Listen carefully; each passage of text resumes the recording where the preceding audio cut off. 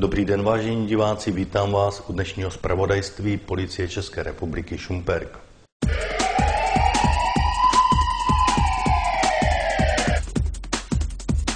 Na úvod mám pro vás žádost o pomoc při pátrání po pachateli ozbrojeného loupežného přepadení.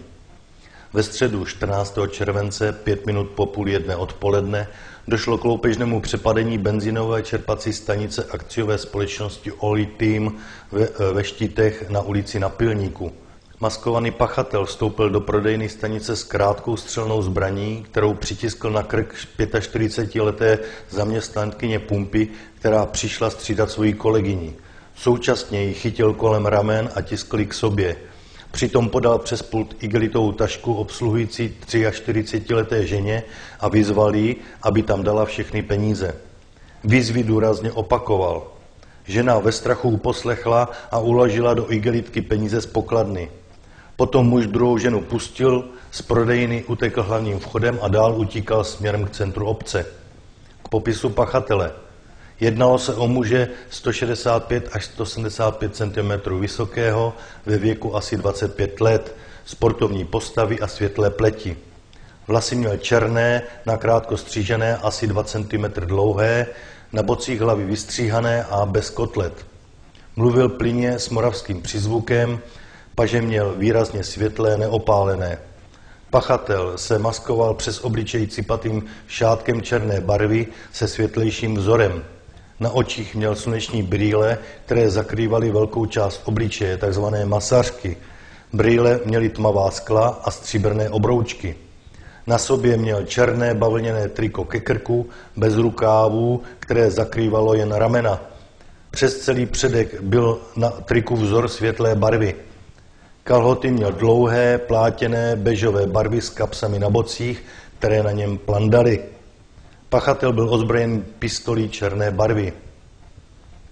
Policie České republiky Šumperk žádá občany, kteří ve středu 14. července v době kolem půl jedné odpoledne se pohybovali ve štítech na ulici na Pilníku a v okolí směrem k centru a viděli osobu podobného popisu, nebo by mohli podat jakoukoliv informaci k uvedenému loupežnému přepadení, aby kontaktovali policii České republiky Šumperk na telefonním čísle 974 779 102 nebo prostřednictvím linky 158.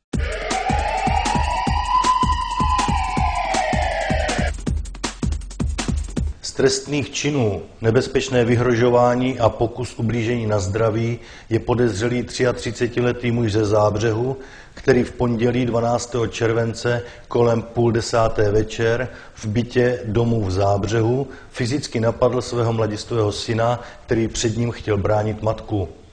Muž jej byl pěstmi do obličeje a horní polovině trupu.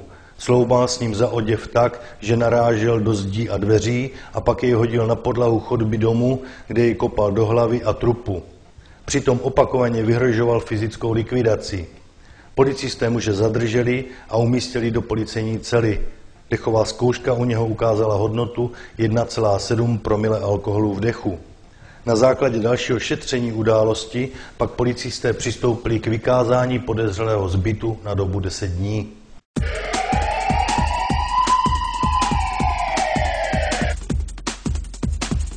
Trestného činu nebezpečné pronásledování je podezřelý 48-letý muž z Mohelnice, který od konce února letošního roku do současnosti prostřednictvím mobilního telefonu pronásledoval 52-letou ženu z Mohelnice.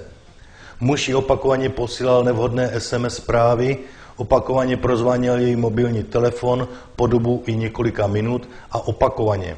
Tak to jednal především v nočních hodinách. Když poškozená muže upozornila na nevhodnost jeho chování, které ji obtěžuje, muž reagoval opačně, a to zvýšenou frekvenci prozvánění a zasílání SMS zpráv. Pro tento trestný čin je trestním zákonníkem stanovena trestní sazba do jednoho roku odnětí svobody.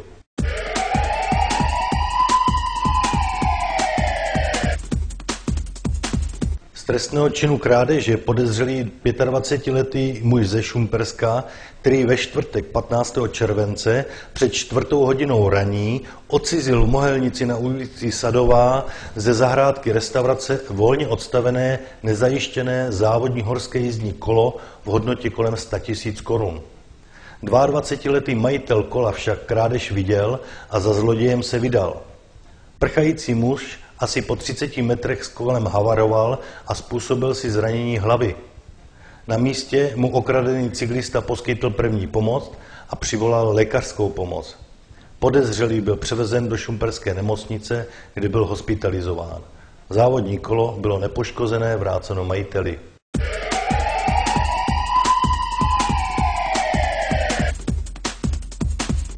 Trestného činu krádeže vloupáním je podezřelý 34-letý muž ze Zábřeha, který v sobotu 17. července po čtvrt na šest ráno násilím překonal vstupní dveře kanceláře prodejního střediska firmy v Šumperku na hlavní třídě. Z regálu pak odcizil tři krabice s příslušenstvím k mobilním telefonům různých značek. Při krádeži však byl vyrušen svědkyní a následně pak spatřen další svědkyní při útěku. Přivolané hlídky městské policie a policie České republiky získali popis pachatele. Při pátrání v okolí byl v areálu bývalého Moravolenu policisty zadržen muž odpovídající popisu svědků s taškou, ve které byly nalezeny ocizené věci. Dalším šetřením policisté zjistili, že na podezřelého je okresním soudem Šumperku vydán příkaz dodání do výkonu trestu odnětí svobody.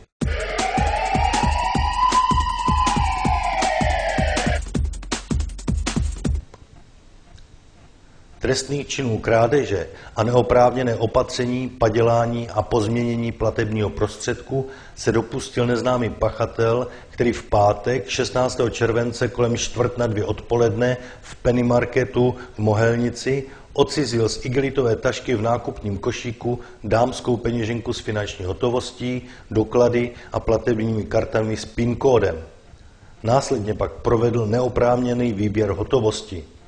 Chvilkou nepozorností tak 54-leté ženě z Mohelnice vznikla škoda ve výši přes 15 tisíc korun.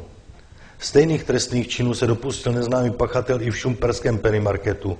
Ve stejný den kolem 15. hodiny využil nepozornosti 58-leté ženy a odcizil peněženku z tašky uložené v nákupním vozíku.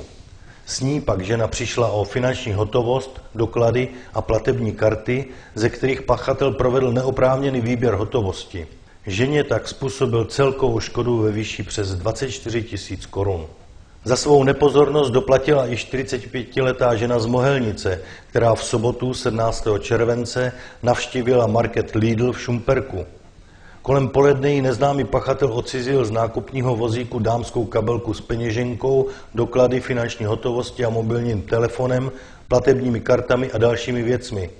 Této ženě byla způsobená celková škoda kolem 14 tisíc korun.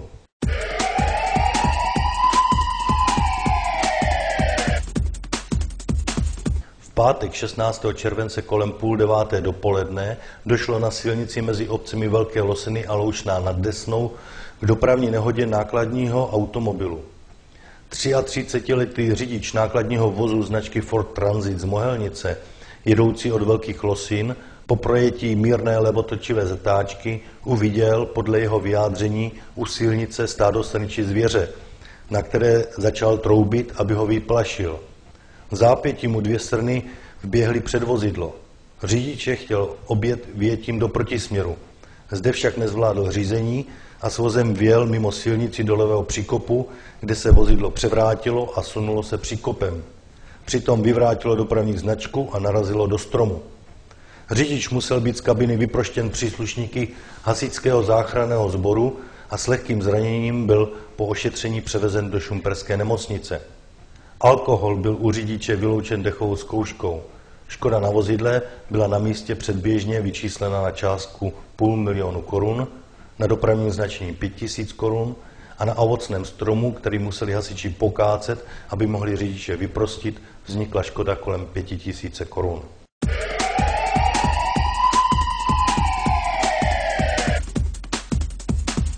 Pondělí 19. července před 6 hodinou raní došlo na silnici Ulužné mezi Bratrušovem a Kopřivnou k dopravní nehodě dvou osobních vozidel.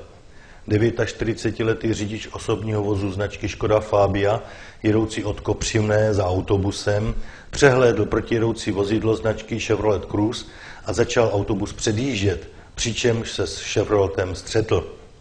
Při nehodě došlo k lehkému zranění řidiče Fábie a lehké zranění utrpěla i řidička Chevroletu.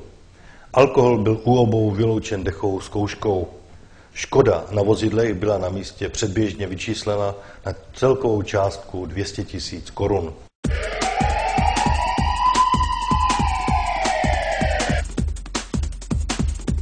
Děkuji vám za pozornost a těším se příště. na shledanou.